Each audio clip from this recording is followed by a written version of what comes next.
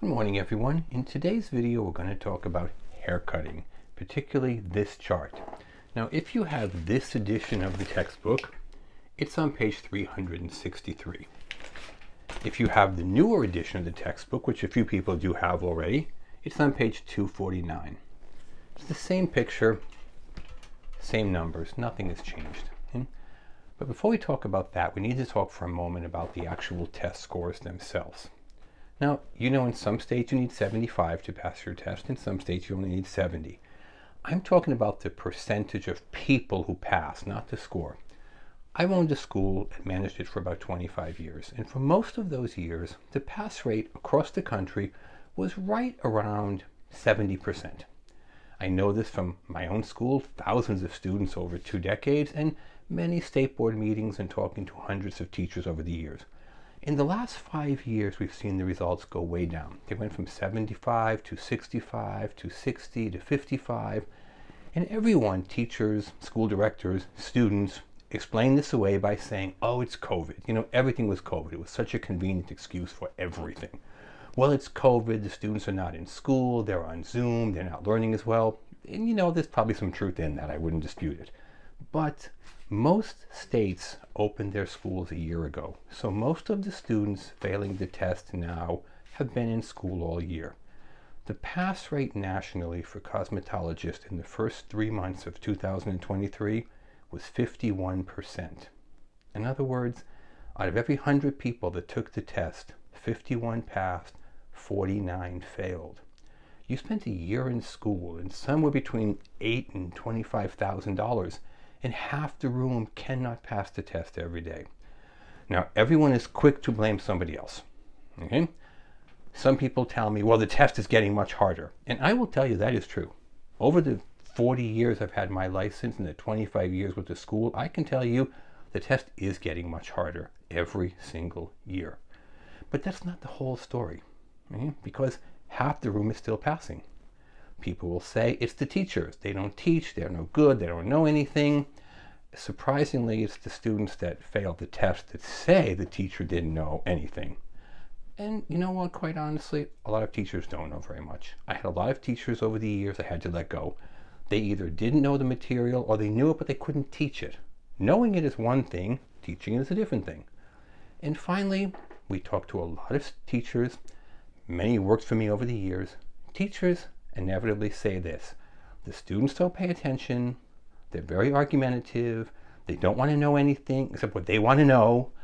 They don't believe when I tell them, even though you might not be interested in, example, permanent waving. It's on the test. They're argumentative, they're disruptive, they're playing on their phones, they're texting, they don't pay any attention, and they fail the test. All of those things are true. Some of the teachers are not very good. Some of the students are very disruptive and don't pay attention, and the test is harder.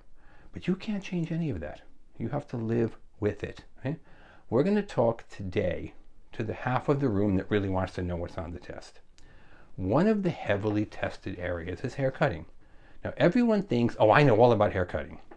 Until they fail their test, they get that sheet that breaks down what you did on each section.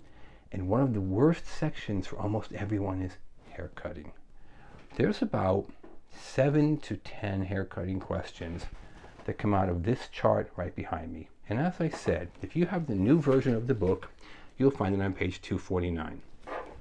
If you have the edition a couple of years older that most students still are using, page 363.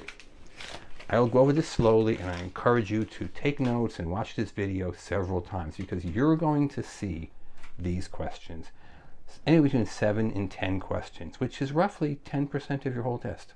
Okay? To begin with, you have right here zero degree elevation.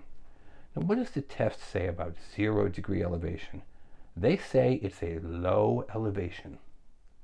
It is used essentially for one haircut, the blunt haircut, B-L-U-N-T, the blunt haircut.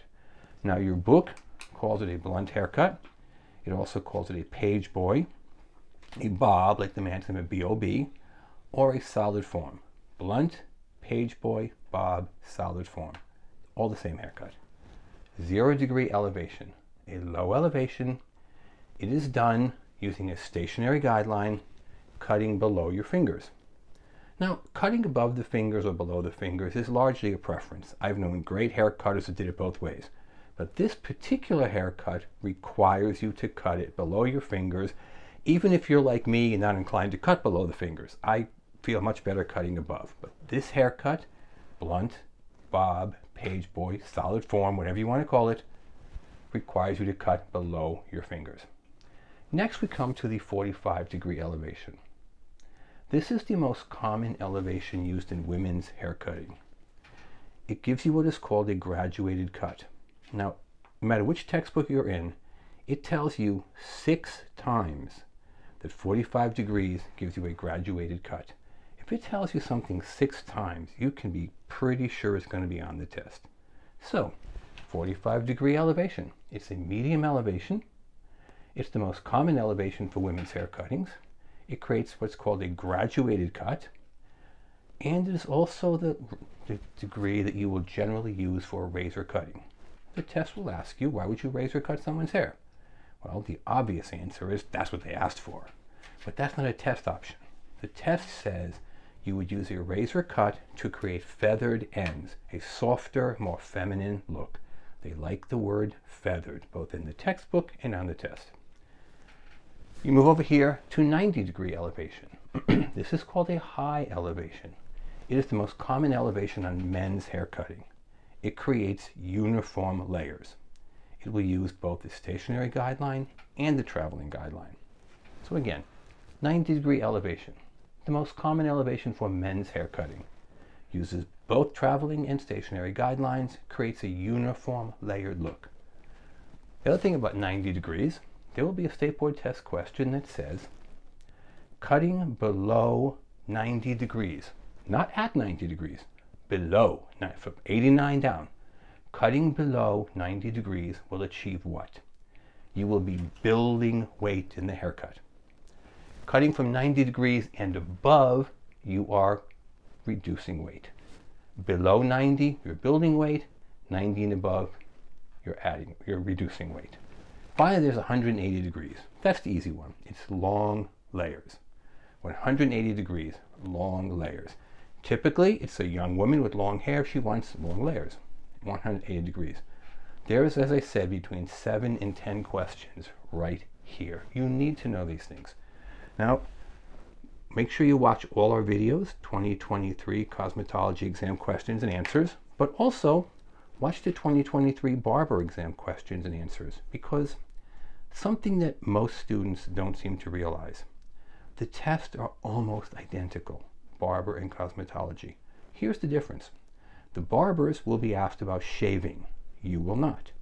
You will be asked about hair removal and makeup. The barbers will not. But the other chapters, infection control, facials, hair color, chemical services, permanent waving, chemical relaxers, hair cutting, blow drying, styling, they're all the same questions. You cannot tell whether you're taking a barber or a cosmetology test. I know I've taken them both many times. Sometimes deliberately to fail, just to take it again so I could see what was on it. Right? I've passed it in seven states, my teaching credential in three states. I've taken this test a lot of times and I'm telling you what's on the test.